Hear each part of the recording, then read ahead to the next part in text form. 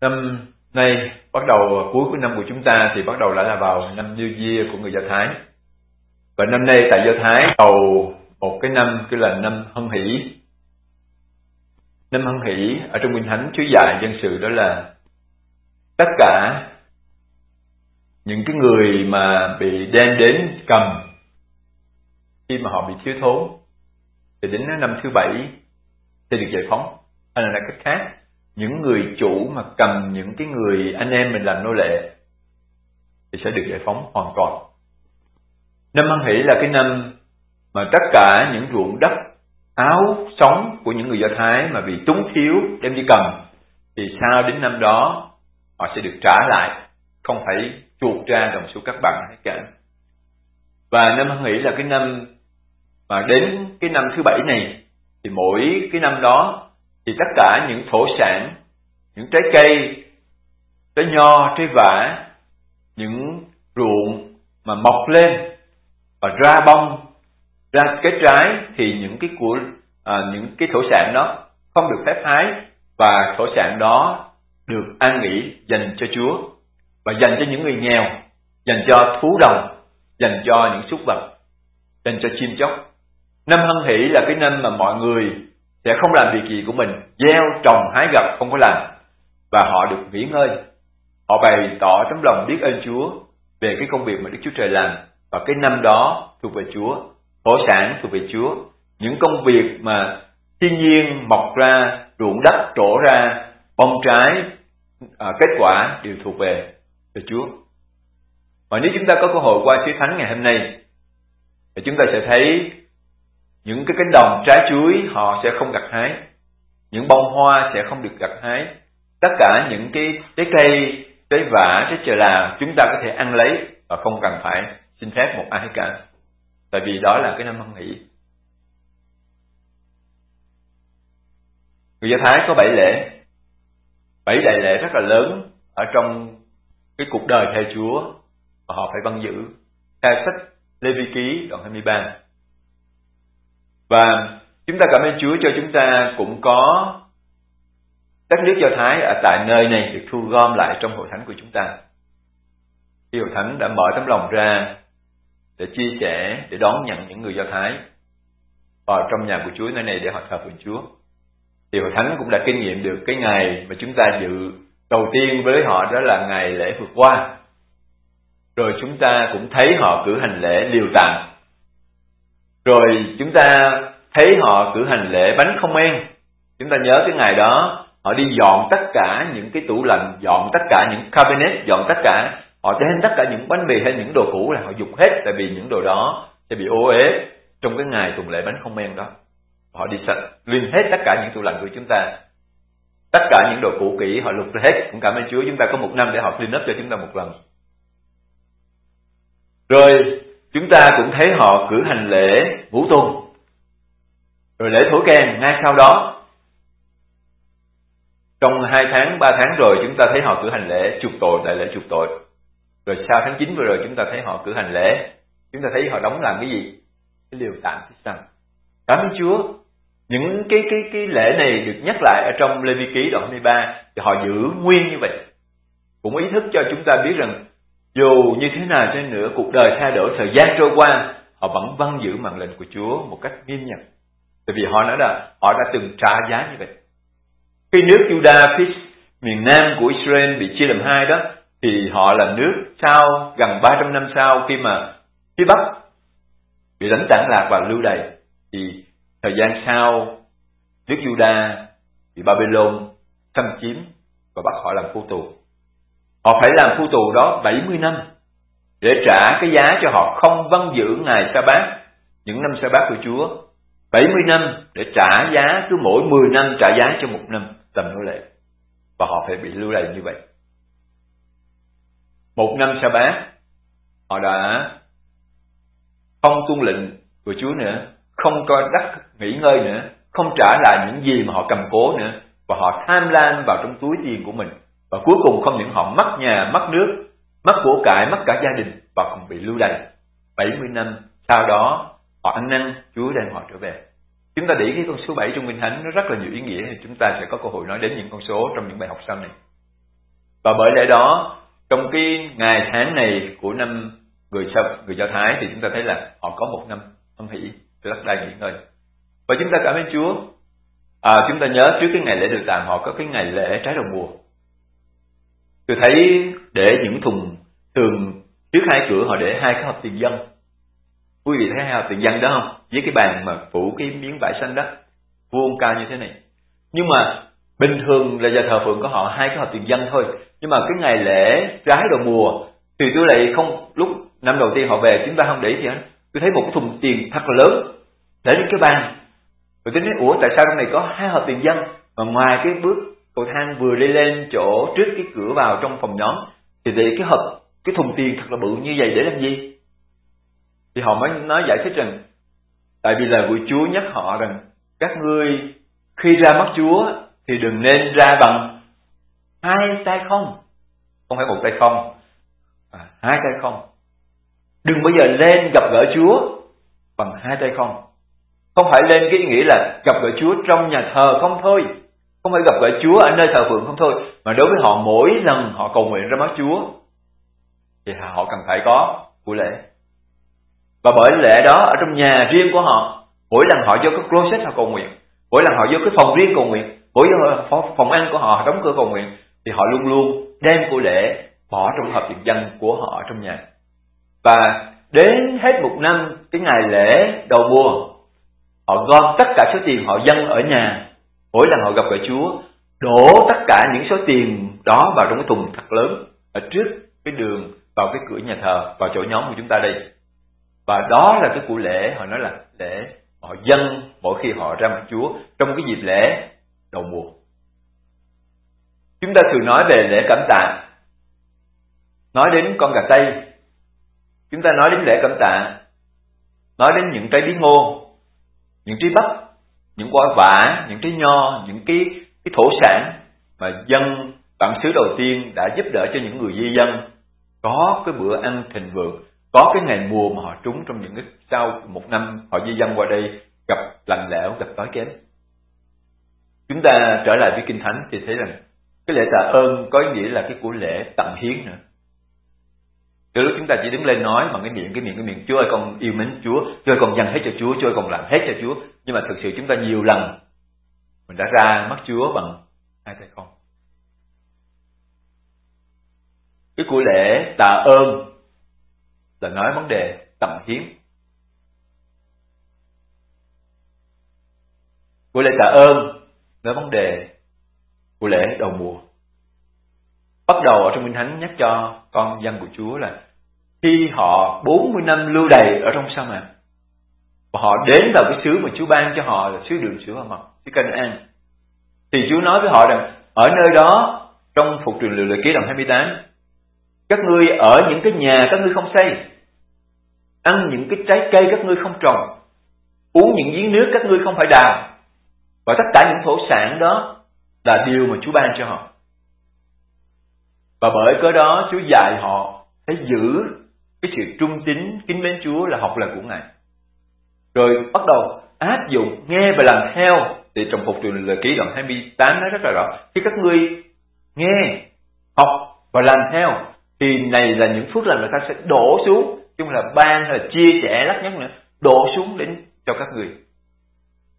Và người do thái họ làm công việc là cái đất đầu khi mà họ về, họ gieo họ trồng họ ăn được những trái cây đó thì sao sao với năm đó họ bắt đầu họ gieo trồng, thì tất cả mùa màng của năm đó, họ đều dâng lên cho Đức Chúa Trời. Những của lễ đó, một phần dâng lên cho Chúa và những của lễ dâng cho Chúa thì thuộc về những người thầy tế lễ. Không biết chúng ta có thể áp dụng được điều đó cho cuộc đời chúng ta hôm nay không? Họ đã làm điều đó. Cái của lễ ở trong cái sự tạ ơn nói về thưa Chúa, đây là những cái công việc thuộc về Chúa. Và tất cả của lễ tạ ơn thì chúng ta sẽ được Chúa kể ra rất là nhiều, là con đầu lòng, thú sanh ra đầu lòng. Những cái đồng ruộng chúng ta gặt hái về đều là tất cả là first fruits, là cái những cái điều đầu tiên quý báu dành cho Chúa. Thường cái gì mà quý báu đầu tiên mà chúng ta có được, chúng ta hãy để riêng cho mình và bởi cớ đó, đôi lúc chúng ta thấy rằng tại sao đời sống mình không có phước hạnh. Dù theo Chúa lâu nay, mình không thấy dư dật.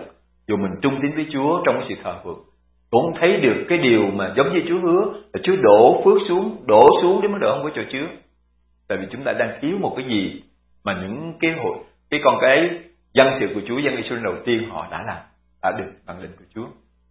Chúng ta học bài học về Cain Abel lâu nay chúng ta nghe hai người này là hai con của Adam Eva đầu tiên hai người đầu tiên.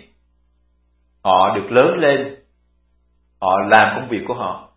Một người làm nghề trang chiên một người làm công việc đồng án một số nhà giải kinh họ à, rồi họ bài học là một số giải kinh họ nói là tại vì đất bị đuổi xả tại vì trong kinh thánh chúa nói là vì đất bị đuổi xả mà Cain làm cái công việc gieo trồng cho nên cũng gặp cái sự đuổi xả dân nghe chúa.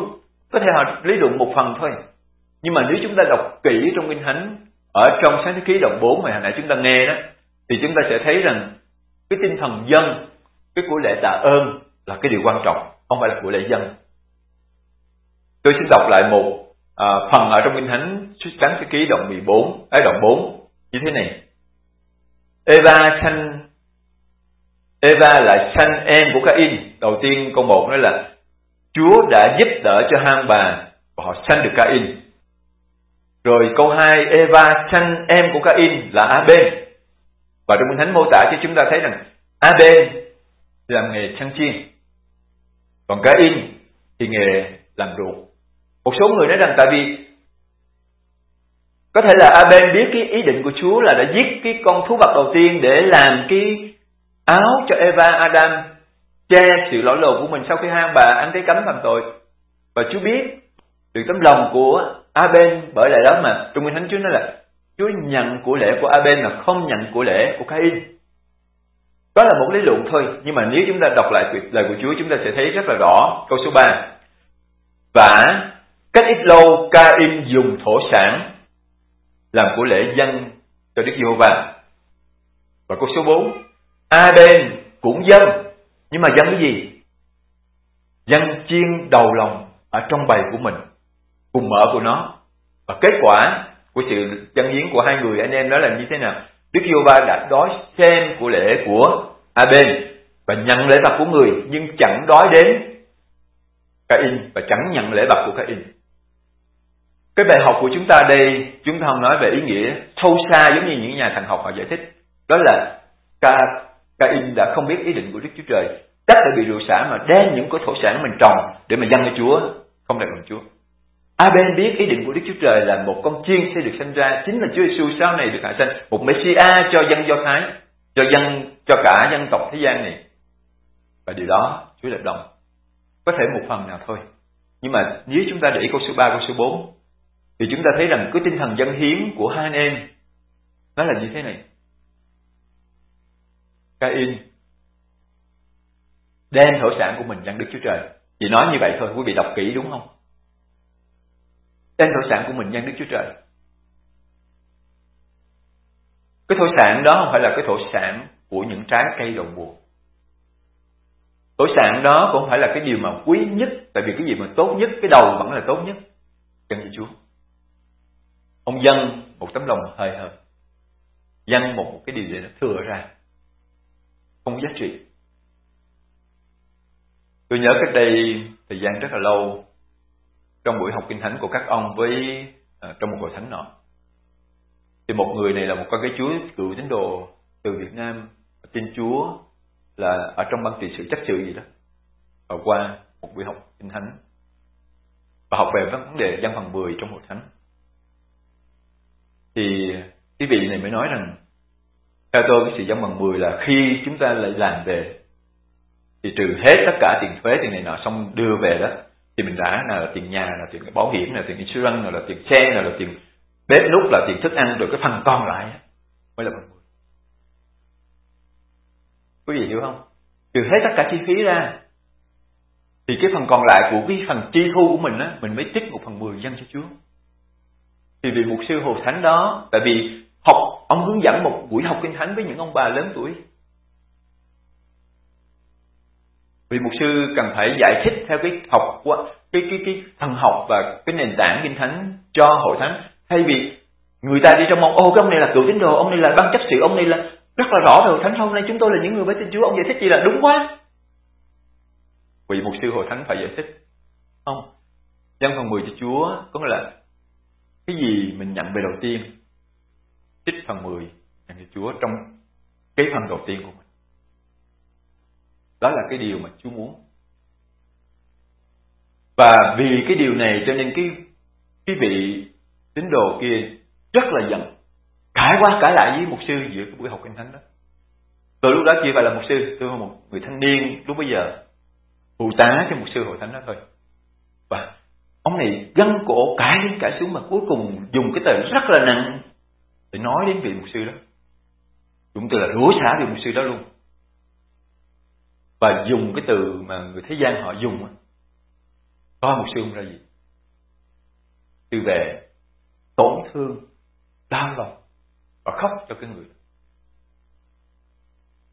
những ngày qua tôi có cơ hội được nghe đến, nhắc đến cái cái vị đó khoảng hai chục năm trôi qua rồi quý vị. Thân hỏi thăm lại gia đình đó thì đúng là gia đình mất phước. Mất phước. Không còn cơ hội đi nhóm lại nhóm bữa được bữa cái, nhóm những ngày lễ. Con cái cũng chẳng được phước hạnh. Những gia đình nó cũng bị đổ vỡ, công việc làm ăn cũng thất bại. Tại vì cái sự nông nổi, cái sự thiếu hiểu biết hay là cố tình không hiểu biết, khi nghe vị mục sư của mình giải thích. Cain đã gánh cái hậu quả giống như vậy. Tại vì Chúa nói là cái của lễ đầu mùa hay là những gì firstborn thuộc về Chúa tất cả những gì mà đầu tiên là của Chúa. Nếu mà chúng ta để ý cái câu một, đoạn một của sáng thế ký, Chúa nói là ban đầu, Đức Chúa Trời dựng nên trời đất. Chúa đã làm nên cái điều gì đầu tiên là thuộc về Chúa.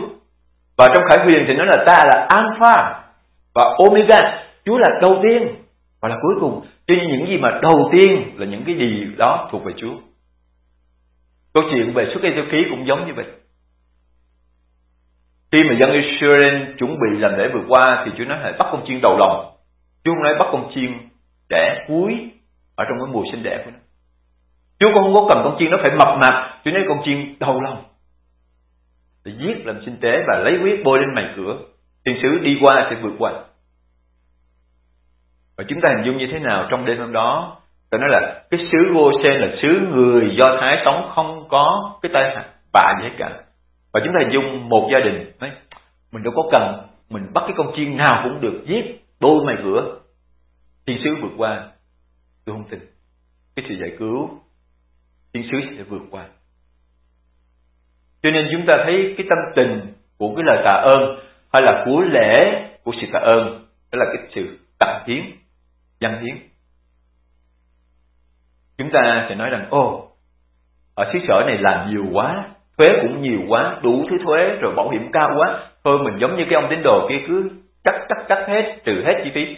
Đây là cái phần cho nghe Chúa.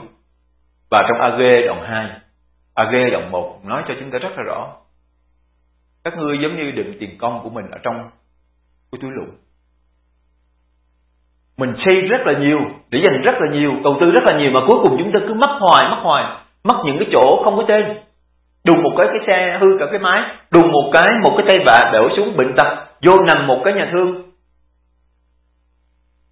Cả hàng trăm ngàn trăm ngàn chạy ra khỏi túi của mình. Chúa nói rằng các, các người đựng tiền con của mình trong túi lục Chúa muốn điều đó cho con cái của Ngài. Chúa muốn chúng ta có một cái tâm tình tạ ơn giống như A bên mình.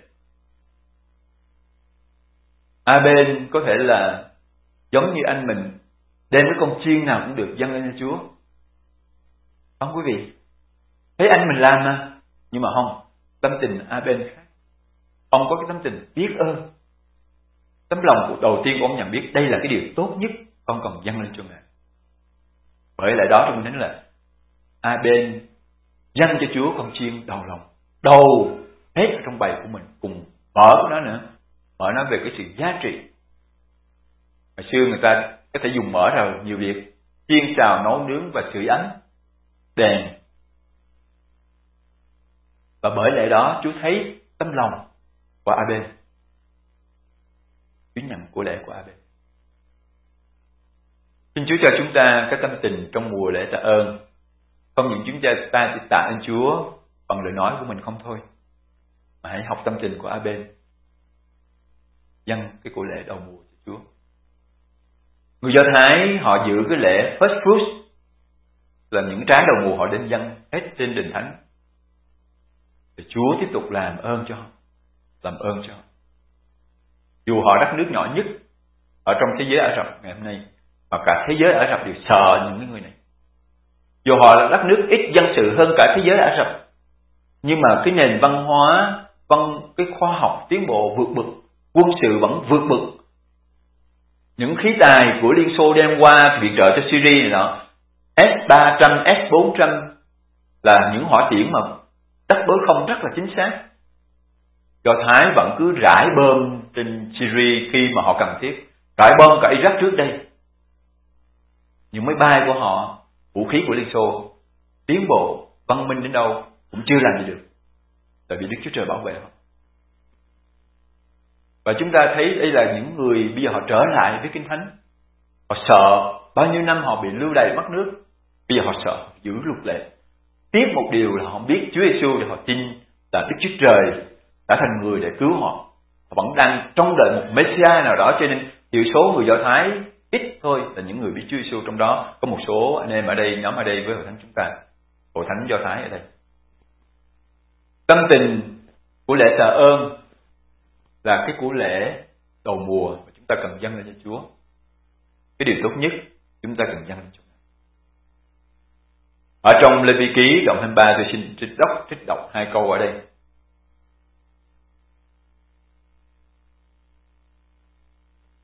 Câu số 10, câu số 11.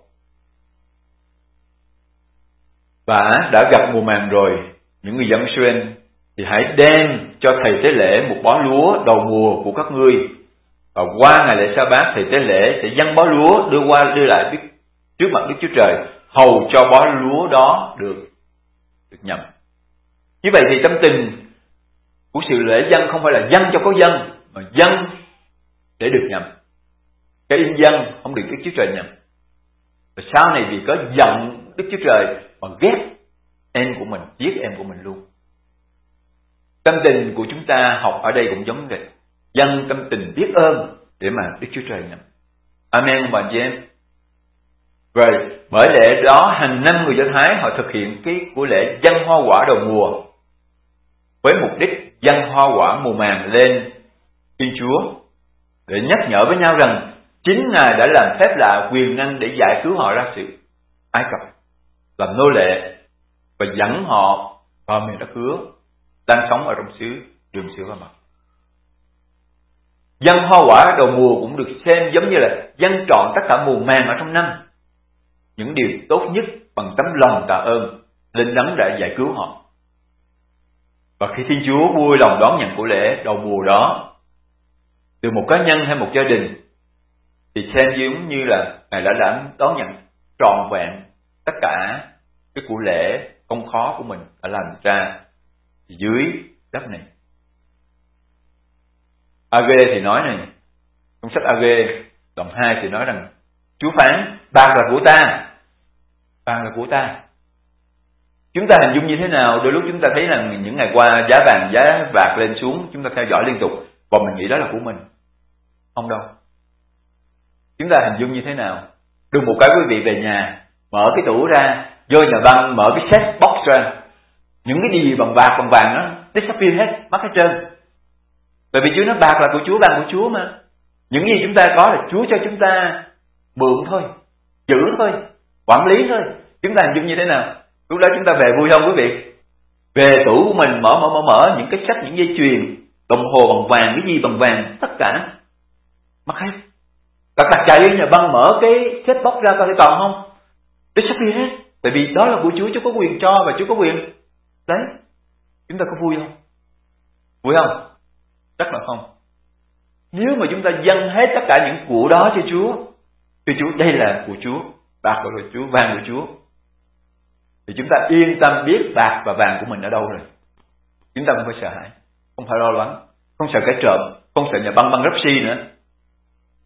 chúng ta yên tâm biết của cả chúng ta đang ở đâu. Khi chúng ta dâng lên Chúa trong mùa tạ ơn bằng của lễ tặng hiến giống như vậy, thì chúng ta sẽ cuộc sống phước hạnh là gì nào? Chúng ta trở lại trong Malachi đoạn 3. Cái đoạn Kinh Thánh có nhiều vị mục sư đã dùng để giảng dạy. Và chúng ta hiếm khi nghe đến đoạn Kinh Thánh này lắm. Quý vị biết Malachi đoạn 3 nói về điều gì không? Không có ha? Cảm ơn Chúa, chỉ có người họ nghe nhưng hôm nay quý vị có cơ hội để nghe. Số người nghe câu này khó chịu lắm. Nhưng mà chúng ta cần phải học tâm tình mà Chúa muốn chúng ta cần học. Malachi đoạn 3 tôi xin đọc ở đây từ câu số 7 trở đi. Từ ngày tổ phụ các ngươi đã xây bỏ luật lệ ta và không vâng giữ. Hãy trở lại cùng ta thì ta sẽ trở lại cùng các ngươi. Đức Vô Va tặng quân phán vậy. Nhưng các ngươi lại nói rằng bởi dân chúng, bởi đâu chúng tôi phải trở lại? Người ta có thể ăn trộm. Đức Chúa Trời được sao? Mà các ngươi lại ăn trộm của ta. Các ngươi nói rằng chúng tôi có ăn trộm Chúa ở đâu? Và Chúa nói như thế này, các ngươi đã ăn trộm trong các phần 10, không những phần 10 không thôi mà đâu nữa có quý vị, ở trong các của của dân. Các ngươi đã bị rủa xả và các ngươi không những một người mà thảy cả nước đều ăn trộm của ta. Các ngươi hãy xem, hãy đem hết 7 phần 10 bột kho hầu cho có lương thực ở trong nhà ta. Và từ đây các ngươi hãy lấy điều này, phá lấy điều này để mà thử. Thử ta là Đức Vua Ba bằng quân. Đức Vua Ba bằng quân phán, xem ta có mở các cửa sổ trên trời cho các ngươi và đổ phước xuống cho các ngươi đến nỗi không có chỗ chứa chân. Vì ta, tại vì các ngươi mà ngăn cấm kẻ cắn nước nó sẽ không phá hoại được bông trái của đất các ngươi. Và những cây nho các ngươi trong đồng ruộng cũng sẽ không có rụng trái trước khi đến mùa. Đức Diêu Ba làm quân phán. Và lúc đó mọi nước sẽ xin các ngươi là có phước. Vì các ngươi sẽ là đất vui thích Đức Diêu Ba bạn quân phán vậy. Phần kinh thánh này nếu mà chúng ta đọc, chúng ta học, chúng ta cái khó chịu lắm. Chúa lên án mình. Nếu mà chúng ta ngay thẳng trước mặt Chúa thì chúng ta đọc kinh thánh này cách vui mừng. Amen. Amen. Và mình không có, mình tra xét trước mặt chúa chúa ơi, con không có cấp một phần nào về của lễ dân, mà phần 10 thì con rất là trung tín. Thì quý vị đọc phần đó chúng ta thấy sao? Thích không quý vị? Thích lắm, cảm ơn chúa. Amen.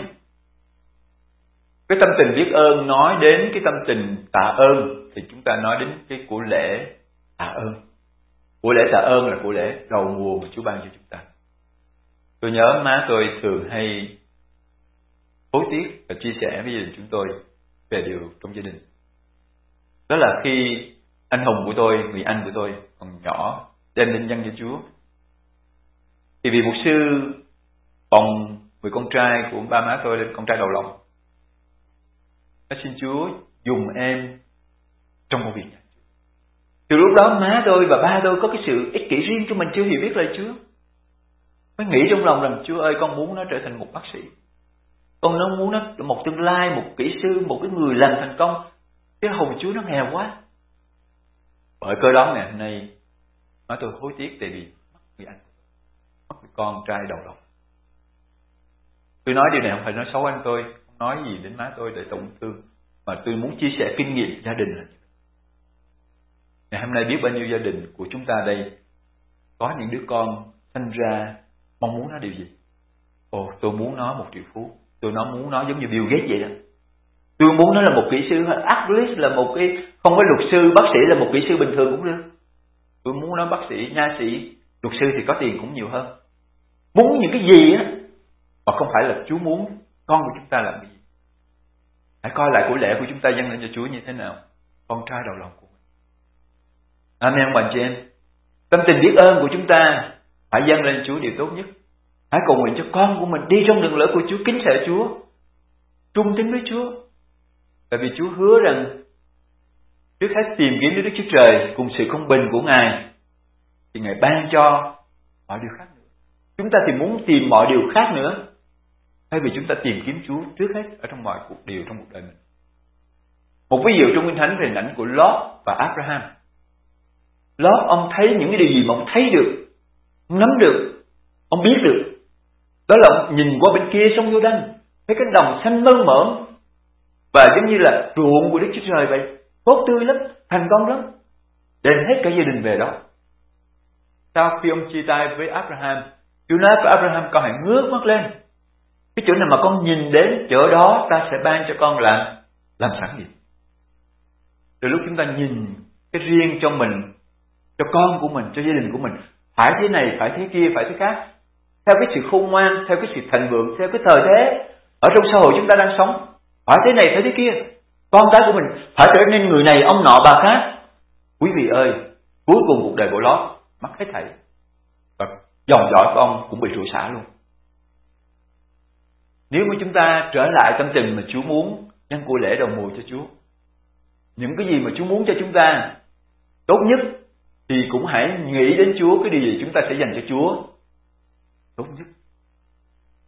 Và khi mà chúng ta dành cho Chúa tốt nhất thì Chúa nói là ta sẽ mở cửa sổ ở trên trời. Chúng ta hình dung cửa sổ trên trời lớn không? Quý vị có thấy cửa sổ trên trời không? Một khoảng không gian mênh mông là cửa sổ trên trời. Mà đổ xuống, chứ Chúa nói là cho từ từ nhỏ nhặt nhỏ nhặt. Đổ xuống đến mức độ không còn chỗ chứa đựng nữa. Chúng ta đang trâu giữ những gì riêng cho mình, đếm được, thấy được. Nhưng mà Chúa làm cho chúng ta thì lớn hơn nhiều. Công việc Chúa và Thánh đây, ông bà chị em thấy Chúa đã làm cho chúng ta lớn hơn nhiều. Không đếm được, không còn chỗ chứa được.